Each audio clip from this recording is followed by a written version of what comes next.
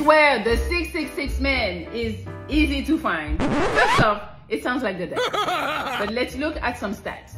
Six feet. The average man in the US is 5'7". About 80% of men are below six feet and about 90% of men are below 6'1". Only 3.4% of all men are 6'3". So they want six-figure income. On average, Hispanic make 777 weekly. Black people, 801. White people, 1,018 a week. And Asian, 1328 a week.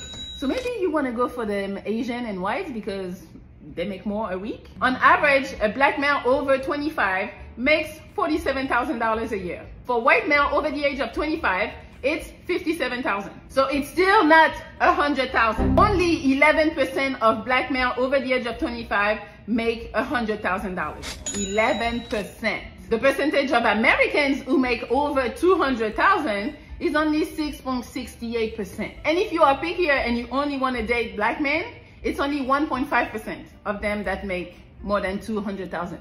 Of course, the stats do not represent scammers, drug dealers, illegal activities, but if you're ready to risk it all just for you to have a man who makes six figures, go for it. Who am I to tell you not to do that? And then you want six pack or six inch dick, oh, yes, whichever Daddy. it is. That probably is the most feasible one at this point. In conclusion, what women are looking for is very rare. And even if you find that man, is he going to want you the way you want them? Most likely you want a monogamous relationship. Can he provide that for you? That man is such in high demand that it's gonna be really hard. He probably got hella options, so he's gonna go for the woman who has everything he's looking for. Super attractive, probably no kids, probably younger, loyal, submissive, don't talk back. That's all he's gonna look for. Also, would he want a relationship when he knows all the pussy he can get?